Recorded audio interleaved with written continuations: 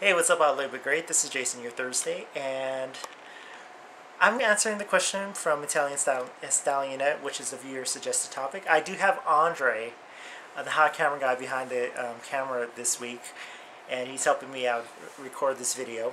And before I start this video, I also want to let you guys know that we, um, starting next week, I will be recording the videos from Hawaii uh, because Andre is going to be there for work for about four months. So I'll be there for there for four months, um, enjoying my myself, doing schoolwork. Lovely, right? So I'll be there, and we'll get to show you a little bit of Hawaii while I'm there. But let's go ahead and answer the question, and we're getting a little technical here. So Italian um, Stallion asks, do you ever get tired of coming out? Are there times when you don't? And if so, what are those moments? And I tried to answer this question and to see if I get tired, but really I don't get tired of coming out. And you know, when somebody asks, they ask. You know, they'll, they'll beat. Some people beat around the bush, and they ask. But I don't really get tired of that. And most of the time, from my thought process, is when a person does come out.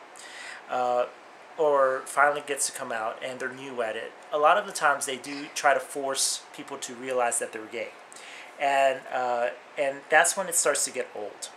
And once a person starts forcing other people to realize that they're gay, you know, it, I'm gonna repeat myself. It gets old, and that's why I try to. It's when I first came out, it, it, I did start to realize that I used to come out to a lot of people, and I stopped. I kind of pulled back a little bit and just let um, nature kind of take take its course and just have people just find out. And the joy of it, of people finding out on their own, is actually much more rewarding for me because it's kind of kind of funny when they be like, uh, "Really, you're gay?" You know, because my old job, there was this one girl who kind of interviewed me, was in, in the interview with me, and she she didn't realize that I was gay until I finally started working there, and she got really really disappointed and I'm like, that kind of made me laugh because I'm like, haha, you, I'm gay, you know, and you didn't realize it, but of course people know now, but whatever. Are there times when I don't let people know? There are times when I don't, and you know, like I said, I just let people find out on their own, and I do pop in like my partner is this, my partner, or my partner lives with me, or whatever, and they they realize this day and age you really don't have to work too hard at letting people know. Because you can just add somebody uh, like andre said uh, in our conversation with this question you can just add somebody to facebook and they'll finally realize oh crap he's gay. You know and you know it's easy, easier said than done you know um,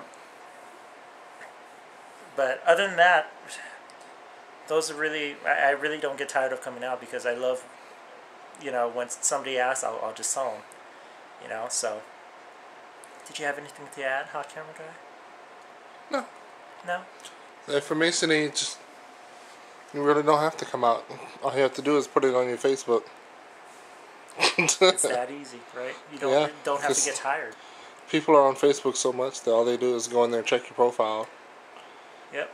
You and know, a so. lot of Andre's friends found found out he was gay through Facebook. And so. cuts me out for not telling them. so yeah, but that's our easy way of answering the question, and I'm excited to hear everybody else's. I just don't talk about it. It's I'm, I'm like it's uh, it's nobody's business but yours. So I mean, it's like it's not that I'm trying to hide. It's it's just that you know, if you don't ask, I don't tell, and just go with the flow. I should put the camera on him because he's the one talking, right? Well, you asked me my opinion. but yeah, so I'm gonna keep my mouth shut now. but we'll catch you guys all later, and next week I'll see you guys from Hawaii. So, bye, bye, hot camera guy. Bye.